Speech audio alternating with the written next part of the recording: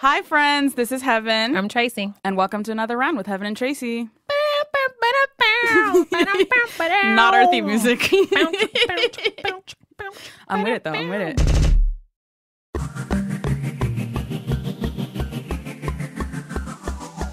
Are you recovered from last week's episode? oh my gosh. I feel like we should personally like, apologize. apologize to everyone, their mom, Individually. their families. Uh, we don't even know how that happened. well, I'm on new meds, so it affects my my drinking differently, which I need to remember. I have no excuse. yeah, Tracy has no excuse. I'm on my old meds. I know how this works.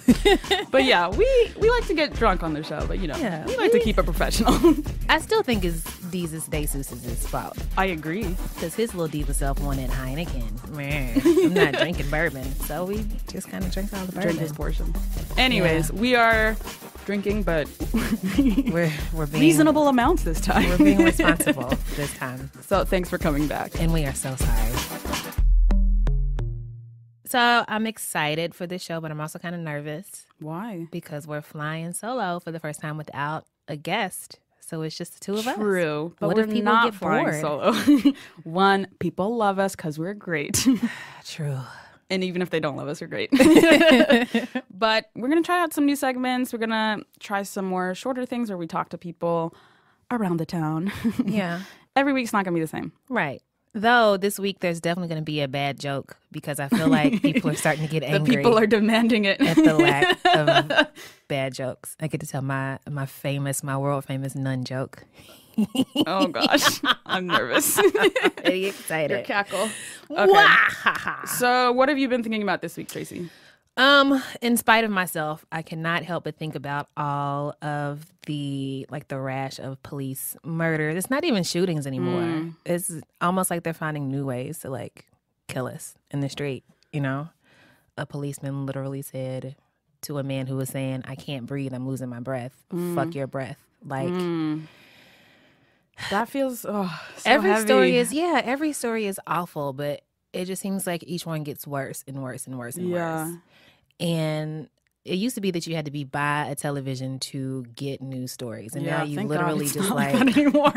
well, it's kind of worse now because like you can Mm. just like turn on your phone and you have like a litany of like black bodies in your palm, which sounds awful, but it's also true.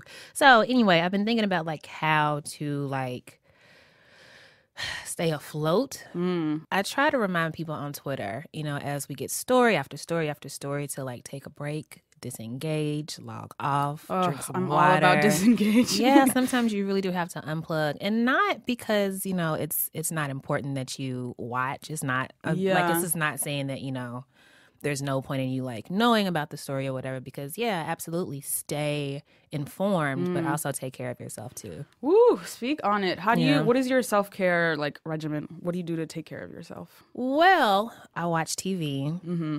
Usually trashy, awful television that's Nice. like petty and insignificant and like you know, like for me to laugh about some somebody, some reality show chick's bad lace front Yeah, for 30, much needed 45 minutes. reprieve. yeah, you have to like let yourself yeah. do stuff like that sometimes. I also crochet, Ooh, which is so yo, like I need some hobbies.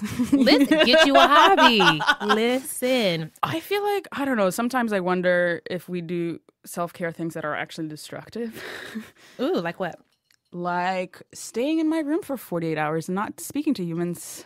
Hmm. Feels like self care. Yeah, when you're Sometimes in it, it it's not. I don't know. I'm trying to get better at like a healthy amount of human interaction. hmm That's hard though. yeah, because my immediate instinct is to disengage from everything. Yeah. I watch a lot of TV. Are there certain kinds of TV shows that you seek out when you're like looking to just like? Oh yeah, definitely. I mean, like almost all comedies. Okay. Or anything that will give me a good cry. Aw. Ah. yeah, I know. You know how I am, though. yeah. I, I, just love think a it's good so cry. amazing that well. I am on season 11 of Grey's Anatomy. Oh my god, my mother is obsessed with that Listen, show. I'm still here for Grey's. I'm not here for Scandal anymore, but I Yeah. will stick with Grey's. okay, I don't like to feel sad like on purpose. Sad or scared, I tend to not. But it's such a good release. You're not just crying about the show, you're crying about everything. yeah, I do that during my period though, like whether I want to or not. So I don't need. Well, same, but you need more more outlets for tears, I say. yeah, I'm always very, very interested in how people care for themselves Yeah. and if they're caring for themselves at all. Because a lot of people, I feel like, need to be reminded more often to like exercise is some real. aggressive self care. Yeah. Like kind of reminding yourself to, you know, take stock of of like your body and your personal breath. You know, like Mm. it, there are horrible things happening in the world, but like I'm still here. I can walk. I can enjoy a glass of water. You Yeah. know, and I have to remind myself that I definitely can't help anybody if I'm not good and okay Woo, speak on it. you know. So we took a walk around our office and we talked to a few of our coworkers to see what their self care routines are like. And here's what they said. I just feel like I've gotten to a point where it's just like I can't just keep going on Twitter or Facebook and just saying like our lives matter and people like people just don't respect that. It's also getting to the point where I just feel like there's so many murders that are happening that like I can't even keep up with it. Sometimes I like I've even taken like days off work and like I will go and just like have like a social media free day. And I don't know if escapism is like the best thing, but I like to go into a movie, it's dark, like get my favorite snacks and just like zone out for like 2 hours and not have to worry. And the last time I did this like I went to go see um Cinderella, which I really enjoyed. Uh, hi, yes, my name is Michael Blackmon, and I work at BuzzFeed. Hi, my name is Sylvia Obel.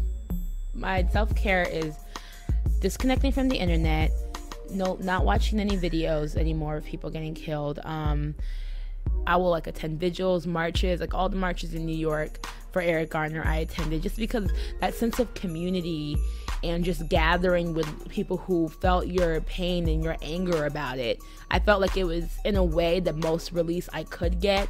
I still wanted to feel like I was doing something. So like to me that's what helped as well. The night uh, the Zimmerman verdict came in was the night I had to get a haircut. I was at my barbershop, and a bunch of people from the neighborhood just came in and started like talking about it. And it was just like really comforting because I was so angry at the time when it was happening. And then to be around a lot of other people who are angry makes you like relax and think, okay, the world's not that crazy because here's all these people around me that feel the same way I do. I'm Albert Samaha. I'm a criminal justice reporter at BuzzFeed. I really have no right to have to deal with anything. I'm not dealing with anything, right? I'm just sitting on the computer, talking on the phone, meeting some people. It's the people on the other side of the notebook or whatever that are dealing with things. On the other hand, I mean, I, it gives me some like peace of mind to be so immersed into this like world or this scene. Not necessarily that I feel I'm able to like help things or improve anything because I don't really know if I can at all. I guess I've gotten kind of so deep in that I'm never going to totally be able to just like remove it from the back of my mind. But also, you know, I play a lot of basketball. That's probably the only time I'm not thinking about like injustices happening to people and bad shit going on in the world. Other than those like six hours a week, that I'm like, that's all I'm thinking about.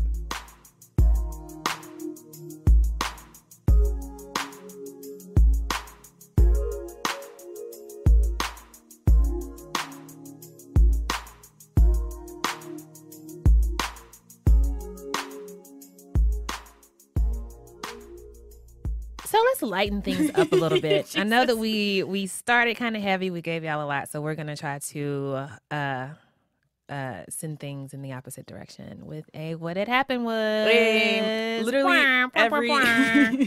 every what had happened was is Tracy because I never leave the house.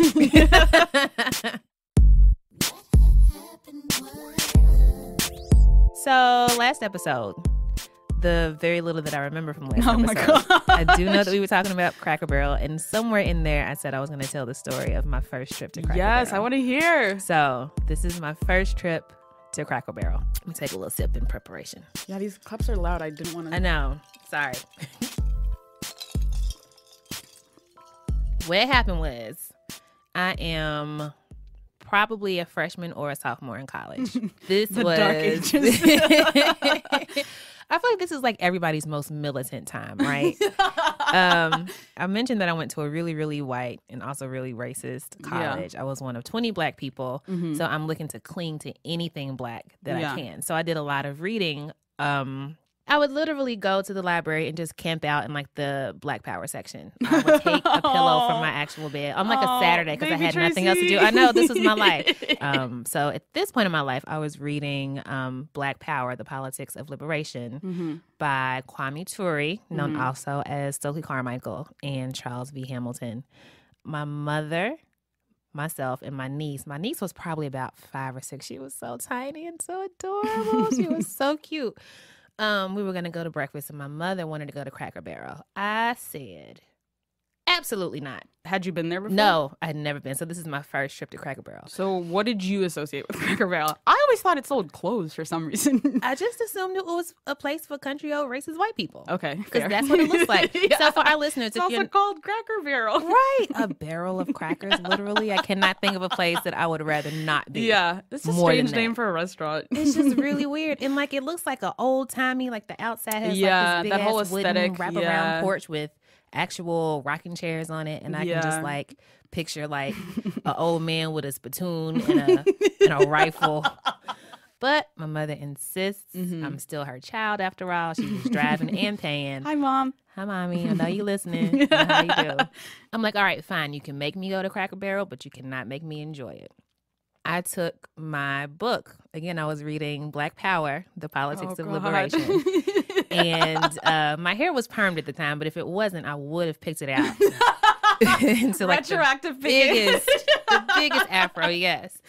We get there, and I make sure that I hold the book so that the so that the title is very, very Petty like, Tracy. Everybody see what book I got. you see what I'm about, right? Try something. Yeah. Try me if you want to. And That's like, smart, I'm- actually. Shit. Exactly. So I walk in and I've got the I've got black power like emblazoned on my chest because I'm like hugging the book to my chest and I'm just like ice grilling everybody. I'm like, try something. I dare you. I dare you. I was very surprised to see black people actually working there and I was like, Oh, oh, y'all don't even know mm. that we've been free for how many years? Y'all don't gotta do So this dramatic. no more. Listen, that was me. They're just trying to pay their rent. right exactly but what really fucked me up is the the trinkets and stuff on the walls right Ooh. So again for our listeners who have not been to cracker barrel And heaven. in heaven oh my gosh I in still heaven haven't been. oh my gosh so you know how tgi fridays has all this like yeah. stuff on the wall Random shit. imagine this as like a Jim Crow themed TGI Oh. Fridays. By that I mean like there are just like old signs that you know are hanging up somewhere in America during the days of segregation. Yeah. Right? Like I always look up and I'm just there's like a wash tub, like an iron wash tub that somebody probably bathed their babies in and probably had babies in. Yeah, it's crazy. And they have like uh like horse saddles and just like remnants of the good old days, right? Yeah. It's kind of like anything that you would imagine left over from the set of um the Andy Griffith show, which I don't even do you remember the Andy Griffith show? no, I don't remember. I mean, it. are you familiar am with it? familiar with it. I wasn't even negative alive then. so depressing. I'm sorry. I didn't mean to say it like that. It's it's fine. It's true. But It was there true. anything in the trinkets that was like explicit? No, but I always expected to see like some slave shackles or something on the wall. Mm. I swear to God, every time I went, I was looking for a whites only sign or a colored sign or like a some actual shackles or like you know just something. Yeah. So we get there. I'm pissed off. I'm uncomfortable. I'm ready to go, and we sit down and we order. Everything looks like whatever. It just looks like breakfast food, right? Girl, I love breakfast. breakfast is so good. and that was my problem with the food. Like the food gets here, I'm determined not to smile. Listen, I took a bite of the hash brown casserole for Ooh. the first time, and I felt at once like uncomfortable, but also really satisfied. That's like living in America. my mom's like, "So how'd you like it?" I was like, "You know, it's It's all right. it's all right." Inside, I'm just like, "Girl, this one was popping. Oh, it was up. It was going up." But my final middle finger to Cracker Barrel. When mm-hmm. we were leaving, I told my niece to put her fist in the air as we were walking oh my gosh. outside. And she was like, "Why?" I was just like, you know, Do it for Black Power, it. baby. "Just do it. You'll, it'll make sense one day." oh my god. She won't even remember And Tracy. she was just like, "What?" but she did it though. That was my little homie. She did it. Oh, And so on the in the car on the way home, I was like, "So am I allowed to like go back on purpose?" who are like you asking? myself. I was like, "Can I stay in the revolution if I willingly go and spend my hard-earned black dollars at Cracker Barrel? Can I do that?" I think you're allowed to. I do very often whenever I can when I get home. Ugh. All But the it was compromises difficult. we Ugh. make. I feel like every black person's first time at Cracker Barrel is like one of the most confusing, soul shattering. Like it just rearranges everything you thought you knew about yourself. mm, But it's so good. dang, It's so good. We got to go to Cracker Barrel. we should.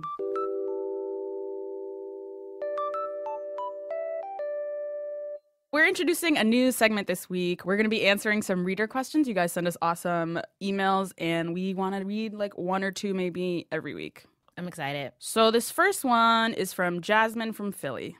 Jasmine says, I cut my hair about two years ago and I've been natural ever since, but I've encountered so many damn stereotypes. People always think I'm an artist, a mm. poet, or the voice. I know, girl. or the voice of reason of all black people. It gets so annoying. Like, just because my hair is this way doesn't mean I'm any different than when I was when, when I wore it straight. She also says, It's like I can't get some people to look past what my hair looks like and see me for me. Mm. Girl, I hear you. and so many white people make comments like, "Oh my god, I love your hair. It's so natural. It's so voluminous." Good she goes, "It's so frustrating."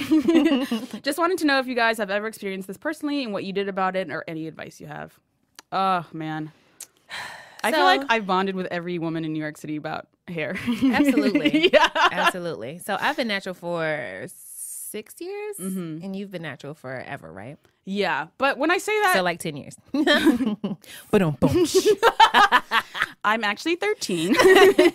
no. So I've been natural my whole life, but I really, really, really wanted a perm. Mm. It's just my parents wouldn't let me. When's the last time somebody Ooh. asked to touch your hair, or just touched it without? I don't know, like last weekend probably. Mm, mm. It happens so often. Yeah. And not just white people, Mm-hmm. because I've had a lot of people touch my hair. Yeah. For me, it seems so evident that, like, you just wouldn't stick your fingers in a stranger's Right. hair. Just don't touch people that you Especially don't know. without asking, but just in general. You don't know what's in here. You don't know if my hair is dirty. Exactly. It's not, but I you don't have know like that. a machete up here. so if you put your hand in my hair and you get cut, then I'm at yeah. fault. So it just doesn't make sense to me on like a very basic level. Right. Also, my brain is up here. what, Tracy? I don't want you that close to my brain. If something happens to it, They're I die. That close. hey, they're a lot closer than they would be if they were just minding the damn business. True. True. True. You ain't lying. but I do, yeah, I do encounter a lot. A lot of times when I put my hair up, people like don't even recognize me. That is so insulting. It's like you've never looked at my face. You, only see my hair. Cannot pick me out of a lineup. That's so weird. but there's a part of me that's just like used to it. I, I think Mm, that I'm definitely used So to. it. So if it's like a situation where, you know, maybe it's somebody that I just met and we're talking and then they just happen to do the reach and then the ask thing, I'll kind of like lean a little bit. oh, I lean. yeah, and I'll be like, uh, you should you this should ask happening? first. Yeah. you should ask first. But if it's like a complete stranger, then I get a little more hostile. Mm. I was at a party once. Oh my god, it was at the end of the night. I was a lot younger. I was not sober. And there was some white guy in a in a tank top, and he just full on put his hand completely in my hair. I Oh. read this man the riot act for 15 minutes straight. I was pissed. Mm. I was so pissed. And then there are some people who are like, you should just take it as a compliment. And I'm like, Nope. nah, Nope. you deserve to be Respected? respected, Not petted like a fucking like animal. a dog, like a goat or something. and like I just I when we have a social contract where we will not interrupt each other's personal bubble. Why Exactly. are you doing this? Right, right. It's just the assumption that like you can just do whatever you want to people. You can't. You cannot. I've gotten so You many cannot. drive-by pettings. That is the worst. they don't like even in a club pause. or something. They don't even stop. It's just like ooh. I felt it, and now I'm moving on because I felt like it. Ugh. And Ugh. even from Black people, like the conceptions of like who you are, or Yeah. like what kind of like poet. Oh, I get called Erykah Badu, which is a compliment. Yeah. Thank you, but it's inaccurate and lazy on your part. I get yeah. called Jill It just Scott. feels weird to like assume someone's politics from their hair. Yeah. I never do that. If your hair's straight, permed, curly, whatever, like I'm mm-hmm. just like I'm It's gonna- just like my future baby daddy, Andre 3000 of the rap group OutKast once said. Mm-hmm. Now question, is every nigga with dreads for the cause? Is every nigga with goals for the fall? No. No. So don't get caught up in appearance. yeah. My advice, girl, is just roll your eyes and keep it moving. Yeah. Give him a little Heisman on him. Like, keep it moving, yo. like this i think it at some point like it just becomes a thing that you're used to weathering kind of like oppression kind of like living in America. kind of like living in america Living in America. okay, I'm done. um but yeah i mean you learn to sort of steel yourself against it you learn to smile and say thank you when you have the energy when somebody's like oh my gosh your hair is Yeah. amazing i wish my hair could do that you know you learn to just be like oh thanks I also love to share strategies with my girlfriends. So some like, oh, like just ask them follow up questions like, did your hand touch the subway today? I don't want your hand in my hair. I'm sorry. Bye. Right, like things like that. I love hearing people's like versions of like how do you deal with that exact moment. Mm-hmm. So We talk to your do- girlfriends. and just keep on keeping on I know, girl. it's as long as The struggle is real, but we got you. Yeah, as long as blackness is seen as something alien, then Mm. this is this is your life. Unfortunately, I just feel like I brought this all the way down. Yeah, you really But I'm sure you Slato girl. Yeah, yes. do it. So that was our first advice segment that currently does not have a snappy name. Um, if you have any snappy name suggestions or if you have any questions, um, any Or need advice. drop us a line. You can email us at another round at buzzfeed.com. You can tweet us, even though email is probably better. Yeah, I'm just a lot of email us. just email us. Just email us. The people have spoken. mm-hmm. We have heard you and your demands for another corny joke. Some of Yes. you are feeling kind of hostile. I just need you to understand that I have a limited amount of jokes thus far. Actually, if anybody has any great, awful jokes that they would like us to read on the air, uh, send those to us too at another round at BuzzFeed.com. Um, you will be fully attributed, of course. I will not take credit for them. But um, right, you are you in for for a treat. This, this is this is another one of my favorite jokes that I've been telling Oh God. I've been telling for years. Everybody hates it so much. so, once upon a time, there was a convent, right? Okay. Priest gathers four nuns into his priest room or whatever. I don't know what it's called. I have no idea. Shout out to the priest room. Shout out to the priest room. Uh, the priest is like, um, sisters, you know, you're you're very young. You've been very sheltered your whole life. I want you to go out into the world for two weeks. I want you to live among the people. I want you to take off your habits. I want you to be one of the people. Come back here in two weeks. Report to me. Let me know how it goes. Mm-hmm. The four nuns go out. Two weeks later, they're back in the priest room with the priest. Priest looks at the first nun, says, Oh my God. Where is this going? Priest says to the first nun, Sister, tell me how your time was out in the world. The nun number one says, Forgive me, Father, for I've sinned. She said, I was out at an open air market. I took an apple and I ate it without paying. I'm so sorry. Dang, girl. no. She's been out there for two weeks. She's I already a hardened criminal. the priest thinks about it and he says, Go say three Hail Marys and anoint yourself with the holy water, and you will be forgiven. Mm-hmm. And then scuttles off to wherever the holy water is. she she gets them Hail Marys off, three of them. She puts the holy water on her forehead. Priest looks at the second nun, says, Sister, tell me about your time in the outside world. Mm. And then says, Forgive me, Father, for I've sinned. He's like, Okay, what did you do? She says, I saw two people having sex in an alley and I watched them for a very long time. Oh my gosh. All right, girl. The priest thinks about it. He says, Go say six Hail Marys, anoint yourself with the holy water, and you'll be forgiven. she says, Thank you. She again scuttles off to the holy water, splashes an extra douse in her face because she felt extra, extra guilty. Mm-hmm. Said her Hail Marys, felt a lot better. At this point, the fourth nun is like doubled over laughing, right? the priest is looking at her and he's like, What what's wrong? She's like, Oh, nothing. Then I'm I'm sorry, I'll I'll get it together. Priest looks at the third nun. Sister, tell me about your time in the outside world. Nun number three says, Forgive me, Father, for I have sinned. He's like, What did you do? and she says, Oh, um, I saw a blind man drop his wallet, and rather than pick it up and give it to him, I picked it up and I kept it for myself. Okay. Priest says, Okay. I would totally do that. Priest says, Go say 10 Hail Marys, anoint yourself with the holy water, and you'll be forgiven. Nun says, Thank you, scuttles off. I don't know why all these nuns are scuttling. she goes out to the holy water. At this point, nun number four is on the ground, clutching her side, nearly hyperventilating with laughter. Mm-hmm. Priest says, Sister, what is wrong with you? And the nun, when she catches her breath, says, oh God. I peed in the holy water.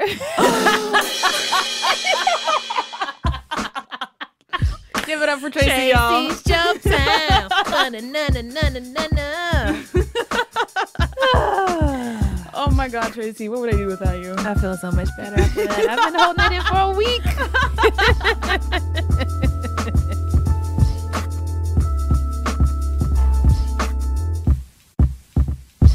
Heben. What's up? Guess what time it is? Buy another round. Yes. This week I am buying a round for Veep Mm, this sounds familiar. because I did not do it justice last week. Last week was a struggle for everybody. It was a involved. struggle. So but us I did not sufficiently express what I like about Veep. I don't think you. I don't think the people know anything. anything about Veep from what I said. so let me try again, y'all. Okay. Bear with me. Go ahead. so Veep stars Julia Louis Dreyfus, whose name I do know how to pronounce. There's a lot of shows about politics right now, Mm-hmm. but this is one of the few that's that actually says anything about politics. Hmm. So like House of Cards, I, I don't even know how we all came to even think it was I good. couldn't get past the first It's not that episode. great. It doesn't really have anything to say about politics. It's good drama Mm. if you're into that. I will follow Robin Wright's haircut anywhere. Sure. and like Remy is fine. But you know, it's like Veep I think gets more at the like kind of dumb compromises you have to make and like the like put on face of politics. Mm-hmm. Whereas House of Cards like really tries to suggest like they're all that serious and they're all that conniving. I don't think they're even that smart. I think on Veep it shows that politicians are dumb as dumb as they are. Okay. I like it just in terms of being a show about politics, but it's also a good show about if you like women in comedy. Mm-hmm. Like it's a pretty good like ensemble cast. There's like Amy, who's her uh, chief of staff. There's Jonah, which is this like unwieldy kid who's like their White House liaison. There's Tony Hale, who from Arrested Development, who plays like her kind of like bad guy. you know how every time we're out and you're like, "Who's that?" and I'm like, "This is the person from that thing. You like them Uh-huh. Oh, because yeah, of this." yeah. like that's what their relationship. Oh my gosh. like it's a lot like us. actually happens to us. Heben, who is this person? Did I meet like, them before? you like them because they did this one thing. All right, hey girl. So I think it, it's like a rich world. There's Sue, who I really love. She's the black um, secretary, Mm-hmm. but unlike almost every black secretary role, she's actually funny and smart and good. Oh, Yeah, so I think it's just really smart, well written, dope women, good insults. You know, I love me some good insults. God bless the president. You know, I mean, he's really a great man, but he is busting my fucking lady balls. Hmm. that's a pretty convincing sell for me. I think I tried to watch it. I couldn't really get okay, into it. Okay, my last plug, which I think you will like. Okay.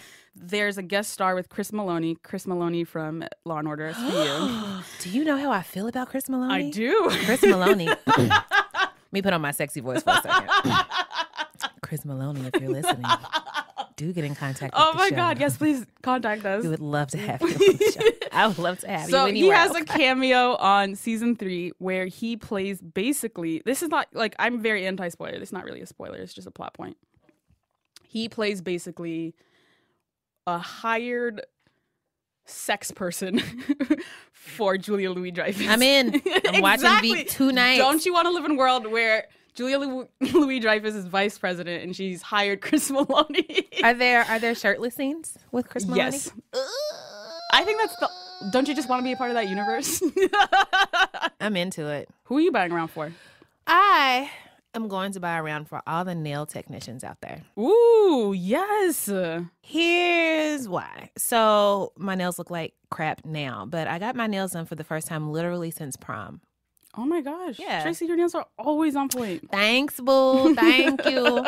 But yeah, that's one of those things where I'm like, why would I pay somebody to do this if I can do Yeah. it myself? Like, I mean, I don't do like all the acrylics myself. Yeah. Although sometimes, and I feel okay sharing my beauty secret with our listeners, if I'm like in a pinch and I don't have time to like actually paint my nails and do like all the coats and the hardeners and like the nail designs or whatever, if you go to CVS or Rite Aid or Duane Reade or Walgreens or Dwayne Harmon and get some, um, they're called Impress. It's an Impress manicure. Yeah. They last for about two weeks. They have a lot of great colors. I've seen them. They look designs. great. I know nothing. I'm not. I'm not above a press on nail, and they're not like the press on nails from yeah, like yeah. Oh, when man. like your mom's press on nails, where like if you so much as Or like drum like, your nails on the table, yeah, on nails. yeah, like with the little piece of sticky paper. No, this is like serious, serious stuff. But I decided to take a break from that and from doing my own nails and mm. actually go get my nails done. Yes. I have felt so glamorous for like the past two, two and a half weeks. nice. And like going back to self care, like one of Mm. the things that I like to do for myself is kind of like pamper myself. I'll do my hair, I'll do like a deep conditioning thing, I cut it. But I mean, it just felt so good Yeah. to just walk in and let somebody else take care of me for a second. You know, Mm. Because black women are just always taking care of the whole world. Who's gonna take care of me at the end of the day? My nail technician. So, um, shout out to Ella. Let me buy Ella around, and also any other nail techs out there. yes, you've inspired me to get my first pedicure this season. Yes, well, you know the sun's coming out. season. The sun is before you out. get them sandals on, girl. Treat yourself. Treat yourself. We did it, guys. We did it. Woo, woo, woo. Hopefully you enjoyed it with just the two of us. Just the two of us. Hey. We can make it we try. Just the worm, worm, worm, worm. okay. What if all your favorite songs had a Jamaican air horn in it for no reason? I would enjoy it to be honest. Thank you so much for rocking with us again, especially after last week's episode. You must really love us if you came back for more. We would like to thank everybody in the whole wide world, especially our producer, Miss Jenna Weiss Berman. Hey. Yay! And for our other producer, Miss Eleanor Kagan. Yay! like the Supreme Court justice, but even better. What a slogan. Put that on your She's resume. Elena Kagan. This is Eleanor Kagan. Get to know her name. Also, special thanks to Julia Furlan, who is not here, but she is here in spirit. We love you and we miss you. And Paul Ruest at Argo Studios. Thanks for holding us down. Woo! We want to thank our musical geniuses, Donwill of the Almighty Tanya Morgan, and Jean Grae, who has also made us some custom tunes, Yes. custom jammage from her. Uh, thank you so much for upgrading our podcast. What else? Thank you to Heben for being in Heben. Oh my God. Thank you to the Tracy. I should, you should never let me live that down. I never will. I. I've never been so drunk where I just stick a random article in just a random sentence. I want to thank Why am I just sticking thus everywhere? Pray for me, y'all. I So would good. love to thank the Tracy. And I'd like to thank you all for Yes. listening despite and because of our craziness. Yes, we get the best tweets all the time and the Oh, best emails, and we They genuinely make my day. I know, but we see them all, and we love all of them. We love y'all. Send us more. Let us know what you think. Questions, comments, complaints, so we can laugh at. Email them to us at another round at BuzzFeed.com. You can follow us on iTunes. Follow us on Facebook and on Twitter at another round. Follow Heben on Twitter at Heaven Rants.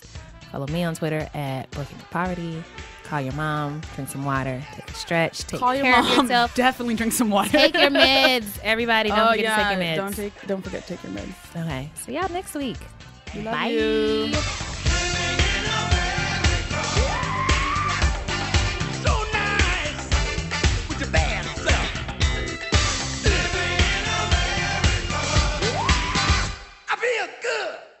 What is Stokely Carmichael's new African name? Kwame something, right? Kwame Carmichael. I forget.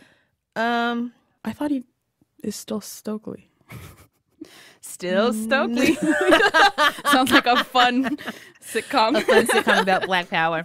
Oh, Stokely. They're remaking Full House, but they can't get a Black Power sitcom. What's good, America?